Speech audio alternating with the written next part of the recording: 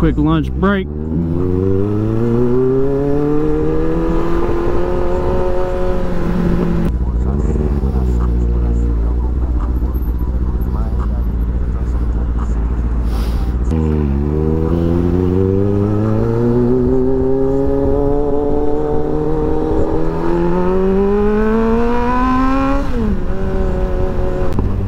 I'm gonna test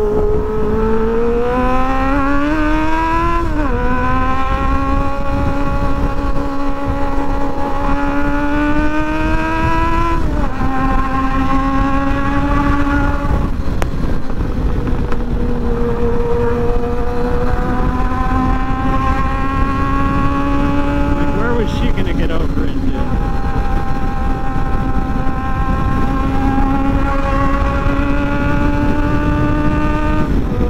do that, boys.